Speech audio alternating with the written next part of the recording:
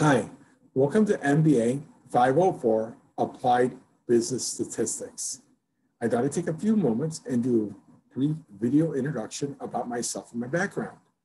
My name is Jerry Roek. I'm an adjunct faculty member at Southern New Hampshire University.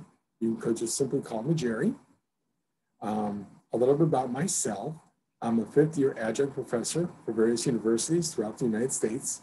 This is my first semester here at Southern New Hampshire University. So I'm looking forward to working with the faculty and most importantly, the students at Southern New Hampshire University. Classes I have instructed in the past at other universities include management information system courses and business analytics courses.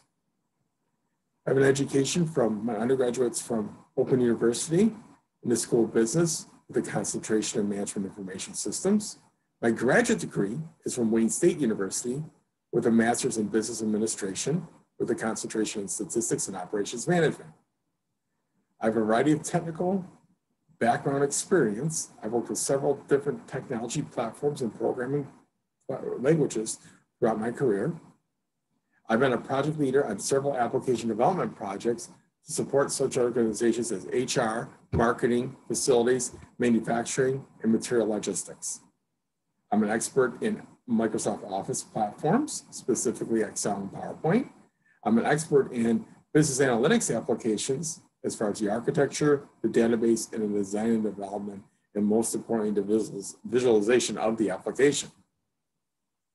I have several years of experience in management and leadership. I presently work full-time at the Chrysler Technology Center in Michigan for Stellantis. We were formerly known as FCA.